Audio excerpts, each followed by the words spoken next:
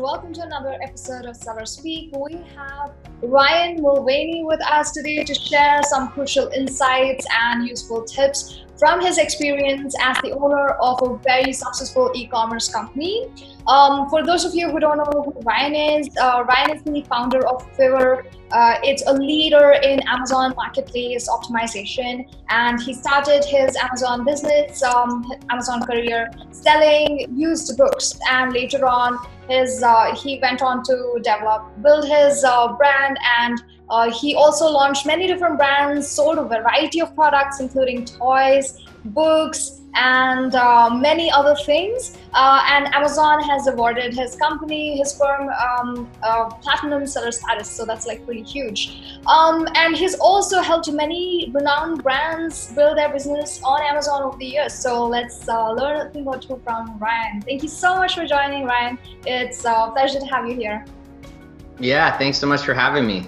Great intro, by the way. I, I, was I was impressed with how much research you did, but I'm most impressed that you pronounced my name right because a lot of people get it wrong. Great. I'm glad that I pronounced your name right. Um, so Ryan, do you want to just like um, take us through your journey of what got you started on Amazon? Yeah. Wow. I mean, you're, I, I, I don't know how I can, um, you know, go bigger than how, how awesome the bio was that you, you introed me with. But yeah, the journey started, uh, uh, it's 2020 now. So back in like 2008, it's about 12 years ago, um, got out of college, was sort of jumping between jobs. And my fiance at the time was a little bit, uh, she was like a year two younger than me in college, probably two years. She graduates college and says, Hey, I've got this textbook I don't need anymore. Sell it on Amazon. Um, you know, remember back in the day, colleges, you could just turn your textbooks in and you get money for them. It was like the coolest thing. It was this thing where like, at least for me, like my parents, like they, they helped me pay for college. So they would buy the textbooks, then I get the money back for them. It was like this like little scam I had. But, um, you know, when my wife or my fiance at the time had this textbook, we put it up on Amazon. Um, I figured out how to do that. It sold very quickly, like the same night. And, um, I thought that was so amazing. I was like, wow, I just need to get books, and if I put books on Amazon, I'll sell products. And so my journey into Amazon was as a, as like you said, as a bookseller. And I'd go to libraries and I'd, I'd try to help them with their donations, and I'd donate part of the money back that I sold on Amazon because the libraries they could make like two dollars a book, and on Amazon you could make like ten dollars a book, um, you know, and up. And so really learned Amazon from sort of that end of it, which, you know, it was a whole different marketplace back in the day. I don't even think Prime was a thing when I first started selling, and I certainly wasn't leveraging it if it was. And, um, you know, Kindle came out, and I was terrified that no one was going to read physical books anymore. And I'm like, I need to diversify this little side hustle that I have. Um, and it wasn't supposed to be anything bigger than uh, funding my honeymoon. I actually called the store One Love Books. And it was this way I was going to make money to fund my honeymoon and then I got sort of hooked on selling books and selling stuff on Amazon. So I just kept selling stuff. Once I once I had the honeymoon paid for, I was like, well, what else can I pay for with Amazon? And um, you know, from there went on to leverage that knowledge into an agency. But th- that's a that's a longer story. Wow, that was quite a journey, wasn't it? And it's been quite some time since you started, and uh, you've gone on to help many different brands as well. So uh, that's quite something. And um, so let's get straight to the questions, Ryan. Let's uh, start the rapid fire. So, um, do you, do you want to maybe tell us about uh, five different mistakes that sellers usually make when they start out uh, advertising on Amazon? Five mistakes that sellers make advertising on Amazon. I need to take notes now. Okay, here we go. So I think that, you know, and maybe it's important to highlight. So after I got through selling books, we started an agency and at the time, there was this private label movement that was happening. And what we realized was there's a lot of really good knowledge coming out of the private label community as to what you can do on Amazon. And we realized that the bigger brands in, in the United States weren't going to be doing those things. So our tactic was to apply those things to bigger brands and sort of help them ramp sales. Yeah. Um, and so when you talk about mistakes, you know, we've seen all of them. And so I think the number one mistake that um, people will make when it comes to advertising on Amazon is they'll advertise too soon. So they'll go out, they'll source the product, they'll put it up on Amazon. Maybe it doesn't have any reviews on it. Maybe the content's just sort of there, but they sort of put it out there and they're like, now we need to drive eyeballs to it. And so what they end up doing is they end up pushing traffic within their listing that it's just not going to convert. I mean, sit in the shoes of somebody who's looking for a glass jar to buy on Amazon and here's your jar with no reviews at nine dollars, and here's the jar next to it with a thousand reviews at, at eight dollars. Which one would you buy? And so I think people sort of jump into it. You know, they get excited, they launch products, and then they sort of go. Um, and so I think that would be the number one. Now, if I have to come up with four more, um, I think that, you know, like I said, turn it on too early, turn it on without reviews on your listings, turn it on without the right content on your listings. Right. I don't know if we can blend those together to get to five. um, you know, and then I think the other side of it too is that they just sort of like turn it on and then leave it there, like sort of set it and forget it. And, um, yeah, absolutely. you know, maybe you, maybe you could that's my daughter. I hope you can't hear that on the in the other room. uh, yeah, but I, you know the work from home life. If they get loud enough, I'll tell them to go be quiet. But um, you know, I think it's this sort of like, oh, just put it up there, set it, forget it, and the sales will come in, and it's this very fluid process. I don't even understand advertising anymore from where where it's evolved from and, yeah. and where it is now. We, we have a whole team of people that that do it. So um, you know, and, and, and in that, like people will set it and forget it. And then they're like, I'll just, you know, if you can get this sort of ROI at, you know, $10,000 a month, we can right. get the same, we can expect the same ROI with $100,000 of ad, ad budget. It just doesn't, doesn't work like that. Right. Um, and so staying right. sort of dynamic with it. Got it, got it. And uh, have you sort of like uh, seen a pattern of what works with uh, many large brands? Because one of the things that I've seen um, uh, you know businesses struggle with after a certain point is that, they hit the ceiling and they don't know how to you know like go beyond that. So do you know any um, anything that businesses can apply like implement uh, to scale up? Sure. And are you talking about in the context of advertising or more broad so for advertising? Uh, both. Okay you know, one of the sort of unfair advantages that we have is because we work with brands, when we turn on advertising for a brand that people already know about, it's a lot easier to get an ROI. That's just the reality of it. There's trust built in, there's yeah. credibility sort of built in a line. And if the, if and if so and so product uh, company is, is offering a new flavor of something that people already love, it's that much easier to get the, the momentum going.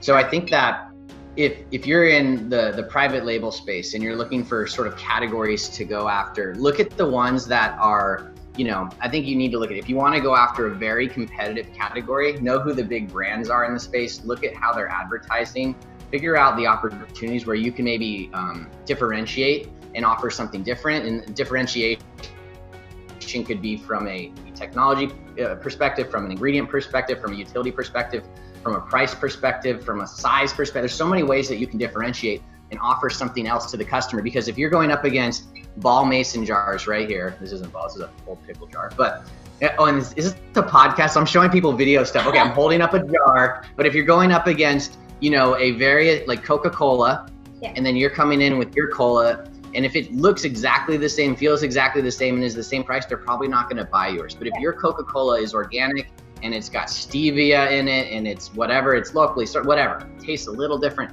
Now you've got an opportunity to play. So I always think about how do you look at what's working and then how do you iterate or add in your own special layer to it that's gonna, you know, allow you to to, to be playing on sort of a different stage than them than them.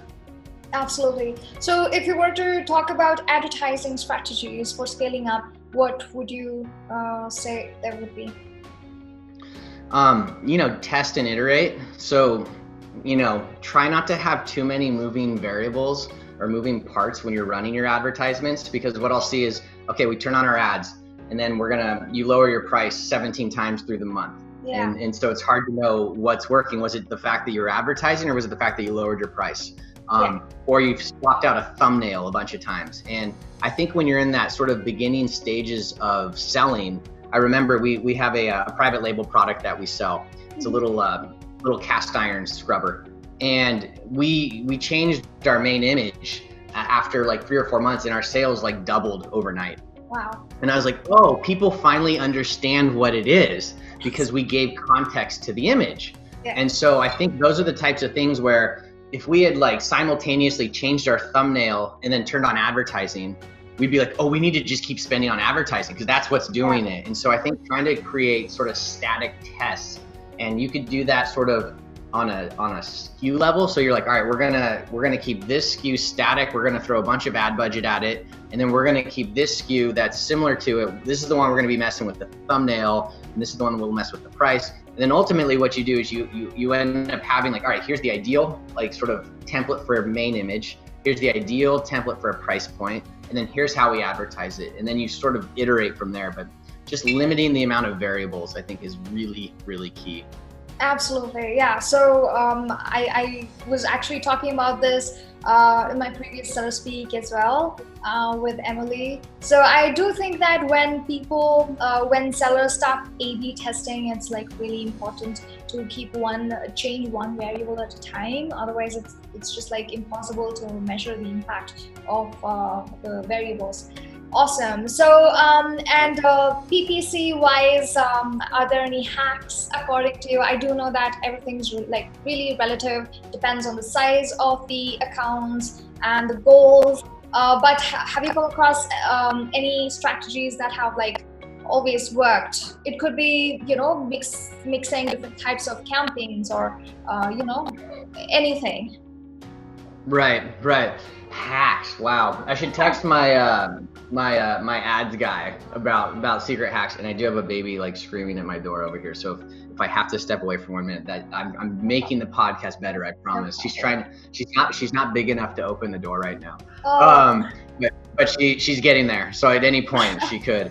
Um, when it comes to hacks, you know, I don't know. You know, there's there's definitely certain techniques that people will use um, whether it's looking at your competition and, and, sort of bidding up on their brand names or bidding up on their strategic uh, listings, um, placing yourself actually on the detail pages of their listings. Yeah. Um, I think it just depends. It depends on what phase of the business you're in. If you're coming in and you're just trying to make a splash, I remember um, Rachael Ray um, you, you, know, for those that don't know her, she's she's pretty you know famous. She has a cooking show here in the states, but she launched a a pet brand, like a pet food brand. And I remember for like three or four months, she, you could not bid on anything like pet related, dog food, organic dog food, grain free dog food. She just was everywhere. Yeah. And so her hack really isn't a hack. She just threw so much budget at it. But what ends up happening is she drives in so many sales for those specific keywords that Amazon then rewards her with organic visibility. So she pays for the placement initially, and then Amazon says, oh, when people search for organic dog food and keto dog food and all these things, they want to buy this product so that she gets all this, you know, sort of organic visibility. So at some point she could start tapering back on the, and I'm saying it like she's actually pulling the levers. That the her company could actually start pulling back on the budget perspective. Um, and so, you know, I would I would not suggest doing that in a large category like dog food. Um, and it's a it's a very expensive way to do it. But ultimately, if, if you then get you know a bunch of sales and you're able to get reviews out of those you know out of those products, um, you know out of those sales, you can ultimately you know have quite a bit of visibility and get get that initial momentum. Um, I'm trying to think if there's any other I mean really like technical hacks. Um, I'm sure I could get a few for you, but uh, it's above my pay grade. I have to ask our guys on our team that, do them.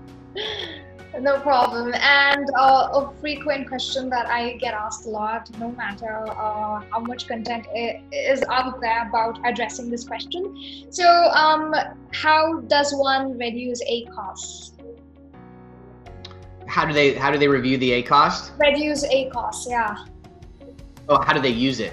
Like what?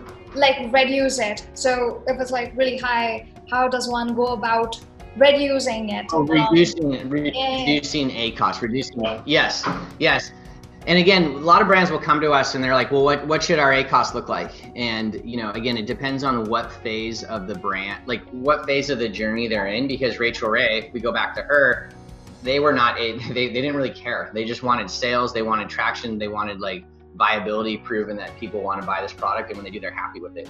Um, you know, in terms of actually like reducing your ACoS, I think what you do, need to do is uh, sort of double down on the campaigns that are working, and you yeah. go out for probably more specific terms, less broad, less discoverability, like the ones that you're like, if you're selling, let's say, a grain-free dog food, bidding on terms very similar to that versus just dog food. Yeah. You know, so I, th- I think specializing the terms so that you're pre-qualifying the customer, knowing that when they hit your page, this is exactly what they're looking for. As opposed to those people that are more in uh, sort of discovery mode because you know people do a lot of browsing on Amazon um, before they actually end up sort of converting. So I think it's just you know trying to specialize and hone in on the on the, on the items that are that um, are converting the best.